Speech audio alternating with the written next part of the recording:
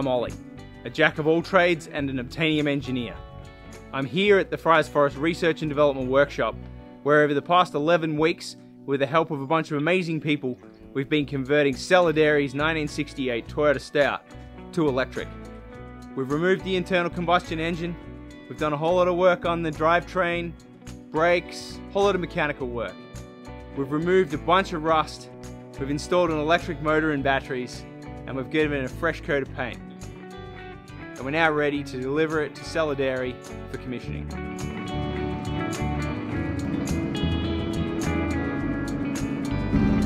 Are you excited, Oliver?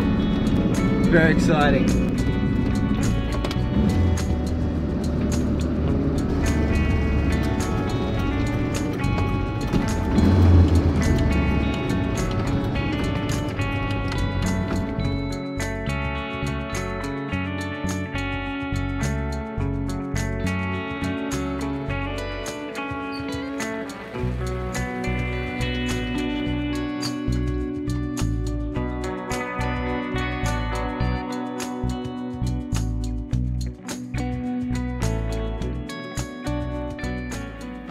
Arrived here at Sellar Dairy, getting ready to now take the batteries from their temporary position, remove them, and get the slip-on uh, ready behind the vehicle where we're going to roll it under the slip-on and mount the batteries into their final position.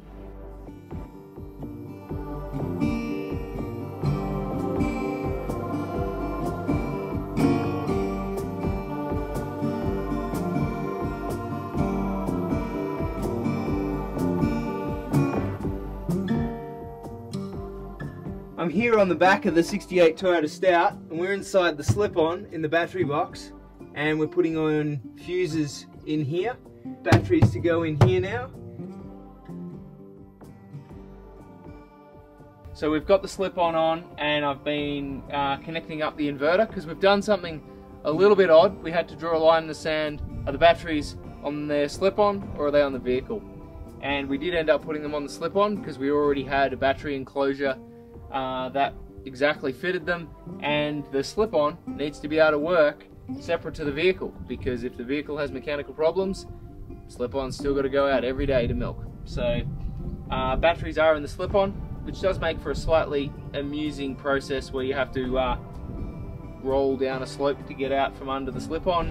Uh, if you like we just did before we rolled under it using the slope Anyway, so slip batteries are in the slip-on, they've been installed, we're pretty ready to turn it on now. This is the Victron 3 kVA inverter that runs the milking equipment, uh, is a backup power system uh, for the dairy.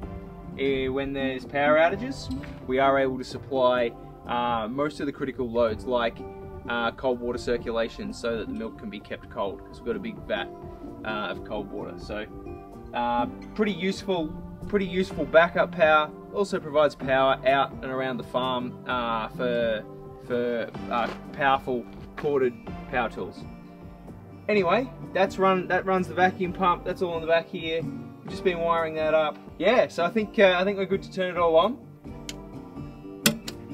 Beautiful. So we've got voltage on the battery monitor. Righto, let's connect the inverter. I'm just putting the faceplate back on the inverter. It's all connected up. We'll turn it on now. Righto, inverter's on. And there it is.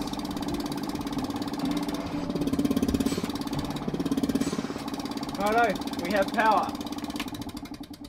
We've got to put the farm tyres on.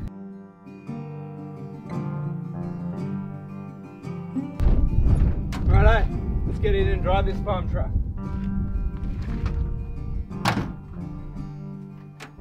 So this will be normal operation. Turn the key, click, stick it in first, and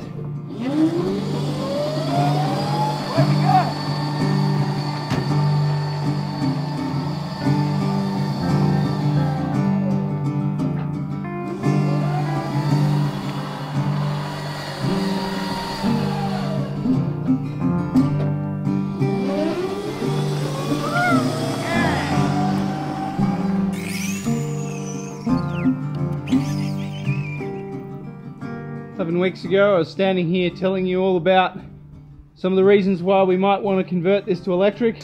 Short daily run out to milk the cows, uh, less than a kilometre. Solar power on the top of the roof here, plenty of spare solar.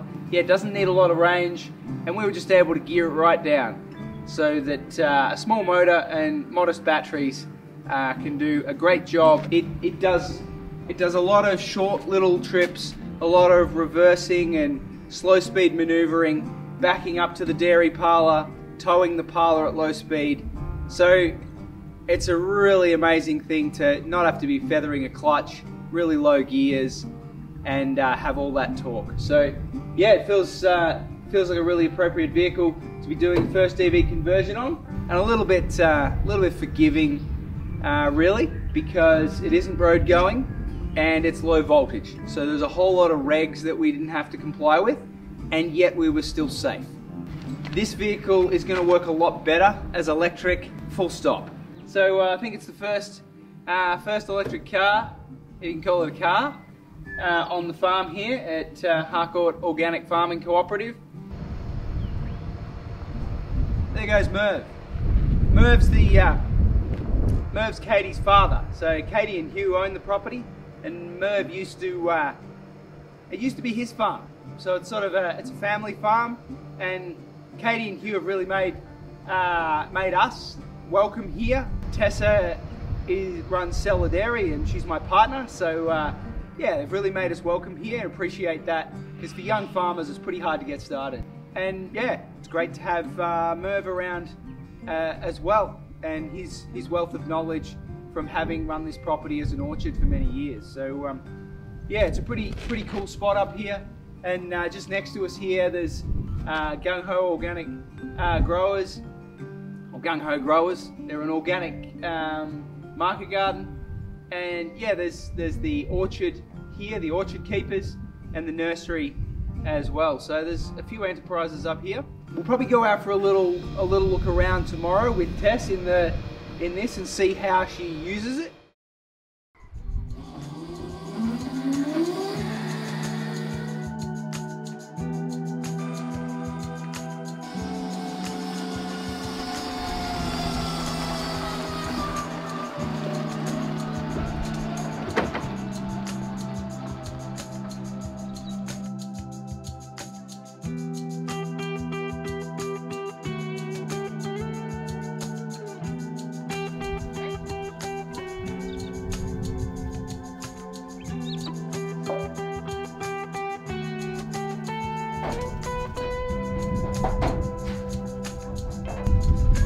Good morning.